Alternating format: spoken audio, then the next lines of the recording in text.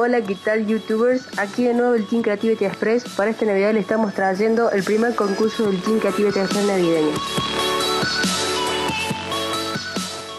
Bueno, se elegirán tres videos ganadores, los más creativos y con mejor contenido ganarán.